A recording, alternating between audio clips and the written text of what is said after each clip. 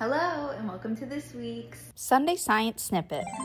So, today you are wanting to know whether cardio was the key to a strong, healthy heart. So, the research is actually pretty clear. Cardiovascular exercise is one of the most effective ways to improve heart health. It strengthens your heart muscles, helps it pump blood more efficiently, lowers resting heart rate, and improves your body's ability to use oxygen. But here's the important nuance. Cardio isn't the only thing that matters. Studies show that strength training also improves heart health. This is done by increasing insulin sensitivity, lowering blood pressure, and reducing visceral fat which is actually one of the biggest risk factors for heart disease. In fact, people who combine cardio and resistance training tend to have the best long-term outcomes. So what does this mean for you?